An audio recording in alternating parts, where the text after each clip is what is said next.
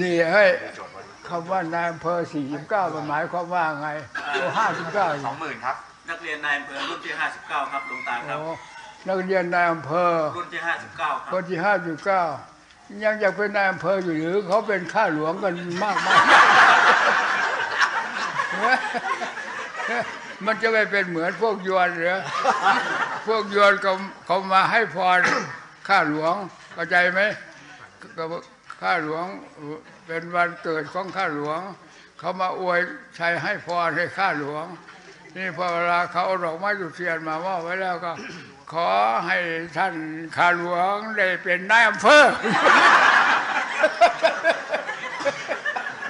เอา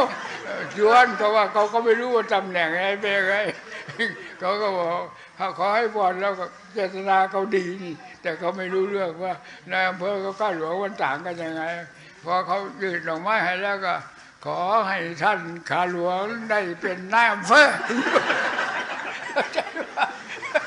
ข้าหลวงก็ยิ้มใกล้กันหัวเราะกันลั่นนะนายอำเภอข้าหลวงมันต่างกัน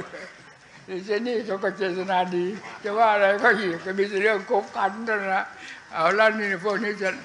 ลาละพวกนามเฟิร์นนะ นะครับเฮ้อคณะของสัญญาคุณากรถวายปัจจัย 20,000 บาทครับ เออเออขอให้ท่านผู้ว่าได้เป็นนายอำเภอ